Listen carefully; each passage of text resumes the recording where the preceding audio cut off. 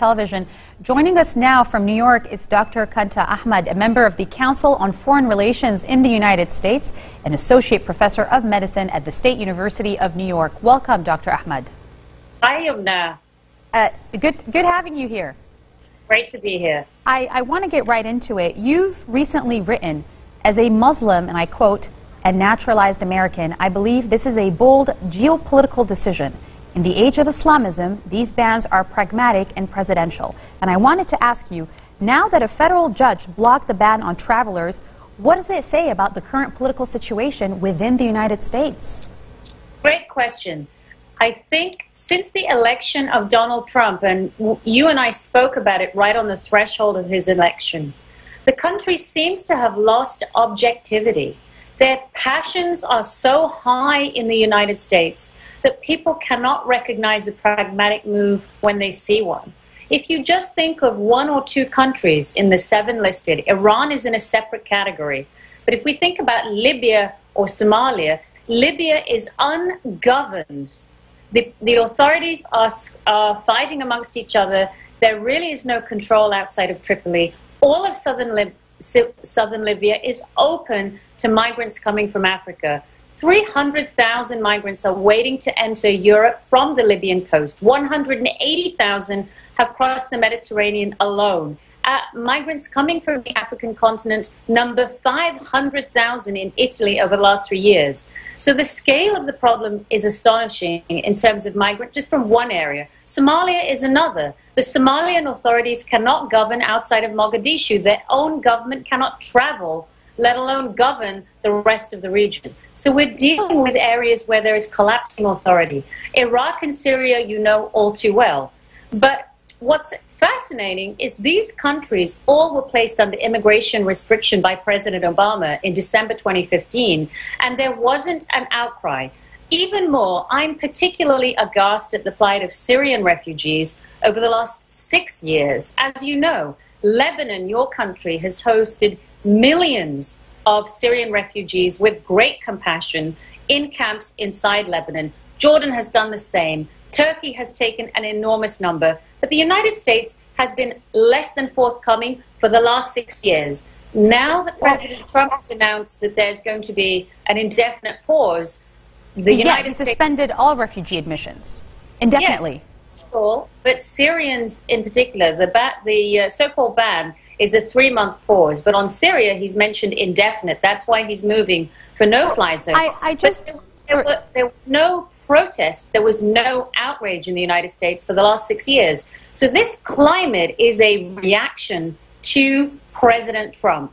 I, I want to ask you, I want to get to, because I know you mentioned Lebanon and you mentioned our former education minister uh, recently, and I'll get to that in a moment. But uh, what do you say to people who say that according to an analysis of data by the Cato Institute, there have been zero fatal terror attacks on U.S. soil since 1975 by any immigrants from the seven Muslim majority countries.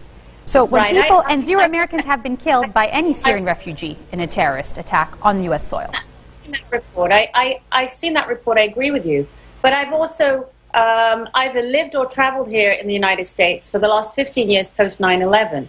I work directly in my own practice with uh, law enforcement and counterterrorism. The United States has an incredible domestic and border counterterrorism uh, force, which has, of course, thwarted many such episodes. And the vast majority, the vast bulk of migrants, whether they are economic migrants or whether they are refugees, are innocent people, not only Muslims, but also Christian families and other, other religions. They don't mean any harm to the United States. But ISIS has made a declaration and has uh, uh, made an intention to capitalize on human migrant streams. So that there is no question that the risk is posed. And I think the United States is using its judgment based on the experience that we have in Europe.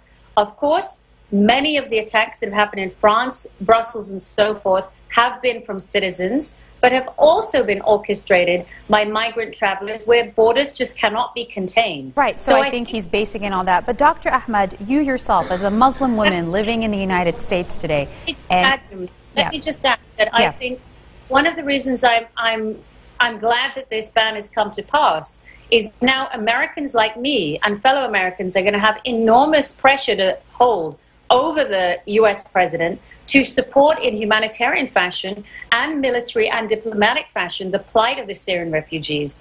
In the first week of President Trump, Trump's presidency, he had phone calls with the King of Saudi Arabia, with um, uh, other leaders in the Muslim world to uh, with, of course, uh, Russia's Putin, to come up with a defendable no-fly zone, which should have been done years ago, which would have not destabilized Europe and would not pose this crisis now. It's interesting you mentioned Saudi Arabia because Saudi Arabia critics have argued should have been perhaps on the list because a lot of terrorists, including some in the 9 11, were known to be Saudi. There's been a debate over it. There's been a bill that President Obama uh, halted. There's been a there's been, you know, a lot of talk about Saudi Arabia specifically, and there's been no mention of that. So I guess what people are asking is, you know, why this, what seems to be arbitrary uh, decision making, arbitrary choosing?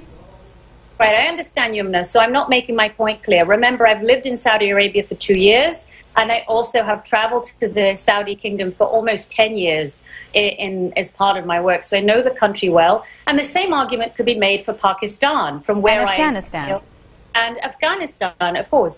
The countries are not chosen arbitrarily. If you look at Saudi Arabia and Pakistan, they have uh, they actually govern with in, incredible power. The Pakistani military is a formidable force. As you know, they have just uh, um, uh, launched last year an incredible operation in the north, northwest frontier where they dislocated the resident population in, in order to go after the extremists. With Saudi Arabia, this is the argument that people, many people are using, including the same uh, liberal voices that are condemning Trump's Muslim ban, are asking us to ban one of the most important Muslim countries in the world. So it's sort of hypocritical. I understand Saudi Arabia. It has a responsibility because it has has definitely propagated radical Islam ideology in mosques and in mullahs. But at the same time, there is another Saudi Arabia which is busy combating this, containing it, providing us vital information. There are other factors at play. First of all, Saudi Arabia, of course, is critical in the world petroleum market. Secondly, Saudi Arabia and um, uh, Gulf Arab countries are completely committed to defeating ISIS, which matches U.S. national security interests, and it also matches interests with the state of Israel. And I believe that this common enemy is going to bring together the potential for not only a peace process in Syria, but stabilization of the Israeli Palestinian conflict. Those prizes are so uh, valuable that they would not risk them with a universal um, immigrant ban. And well, another thing, I, in, I, am, I am a Muslim American, but did you know the vast majority of Muslims in America are immigrants, and the highest percentage actually comes from Pakistan? 14% of us are in Pakistan are of Pakistani origin. So I don't think it's arbitrary. I think it's about the destabilization from the right, Levant. But when you know, and this is this is one of my last questions for you. You know, when the Trump administration says it wants to revamp and rename the U.S. government program designed to counter all violent ideologies, I'm talking here about countering violent extremism or. CVE, and he wants to rename it to become countering Islamic extremism, which means right. it will no longer target groups such as white supremacists.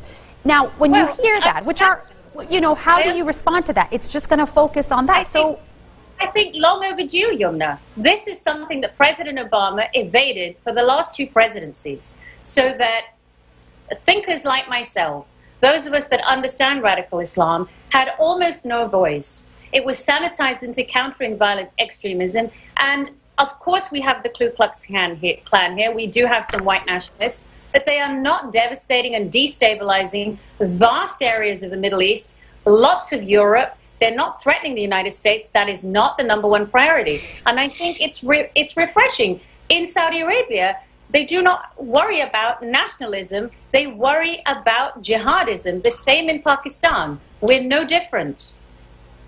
All right. Well, thank you so much for being with us today. That was Dr. Qanta Ahmed joining us from New York, a member of the Council on Foreign Relations in the United States. Thank you, Doctor.